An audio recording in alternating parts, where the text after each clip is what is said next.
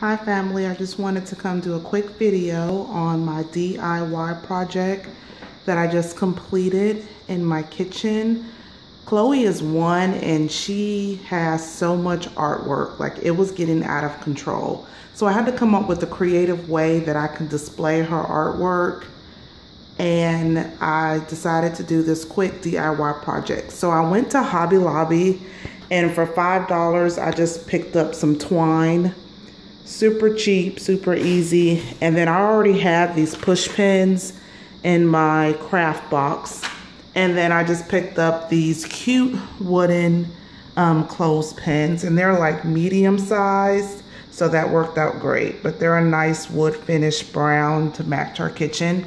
But I just took the push pins on each side and tucked them into the wall and then tied the twine around them and then measured out the length of my wall on the other side.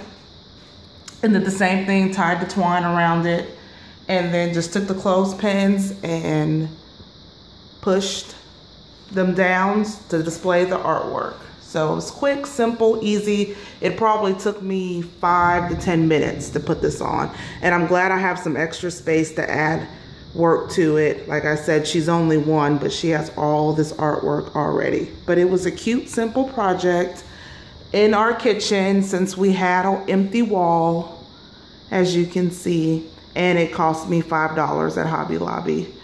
Hope you guys like it. Let me know your thoughts and let me know other creative ways you've come up with to display your child's artwork.